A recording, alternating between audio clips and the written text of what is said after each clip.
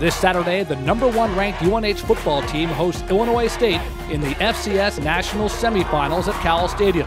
It's the first time in UNH history a game at this level will be played in Durham. It's been a record breaking season, and the Cats climb their way to number one as one.